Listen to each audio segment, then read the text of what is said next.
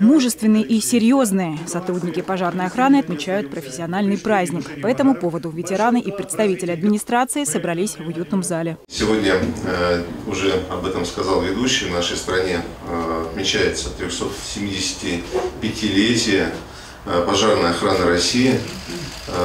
История создания пожарной охраны уходит далеко царские времена, еще Ивана Третьего. Сергей Фролов без ложной скромности признается, Одинцовская пожарная охрана лучшая в Подмосковье. 37 лет он отслужил именно в ней. Это ответственность человека, это воспитание человека, и это отдать должности нашему профессионализму, потому что а, мы это должны делать. Если не мы, то кто?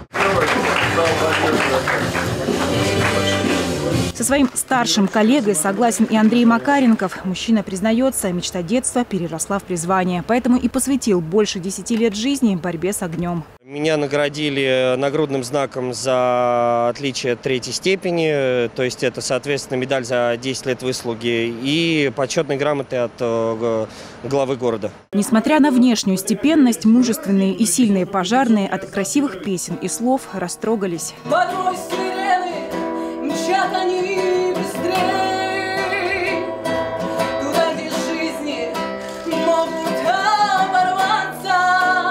После торжественной части глава округа Андрей Иванов пообщался с пожарными в неформальной обстановке, осмотрел машины и спецтехнику.